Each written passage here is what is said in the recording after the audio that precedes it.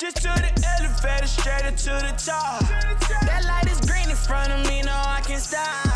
Big we took them chances, beat them odds. They were sleeping, now we got a game alive. I score, it's like, oh my gosh, just like the whole world is just, it's just me in it, and it's just, I mean, there'd be a lot of people screaming, but like, I swear, I just hear my my player, just hear my teammates, just like, yeah, Kolin, yeah, Dink, and that's it. Oh my gosh, it's so fun. Kolin Dinkins is a returner on defense. He's very athletic, plays corner, but also now playing outside linebacker, which he can roll back and play safety. Uh, and he's going to give us depth at running back. He's great football knowledge. He's athletic. He can be a return guy for us.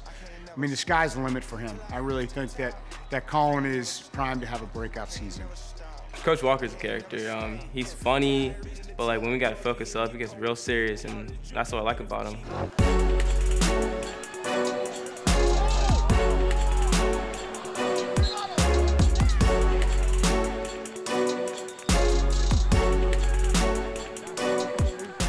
I say I fit in there with like J.R. Burton. He's like, mm. we're both quite fast, bro. He, and J.R. just run through things it's like a train. So I like to fit in there, like just try to find my holes, find my cuts, and get touchdowns. Well, I play for my mom because she's always there for me. I also play for my dad because he's always just, oh my gosh, pushing me. And since I was young, make me work hard.